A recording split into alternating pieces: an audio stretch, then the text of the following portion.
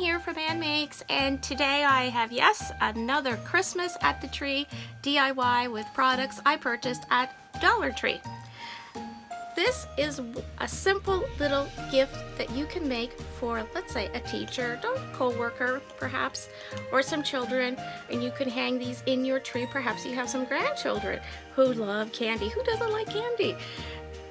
All this is, is an inverted mason jar type of ornament. Isn't this adorable? It is acrylic, it is very safe, and all you need to do is get this acrylic ornament, some candy and ribbon, and you're all set.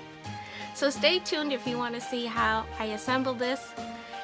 Easy, easy peasy little gift ornament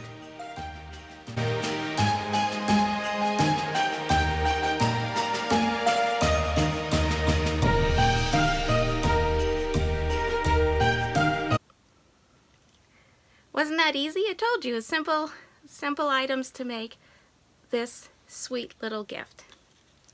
And everything is available at Dollar Tree. And if you're in the US, please check out dollartree.com for Christmas at the Tree, where all the items are $1. I hope you enjoyed this quick little video. I would so appreciate a thumbs up, a like, comment, and share. Happy holidays, everyone. Be safe.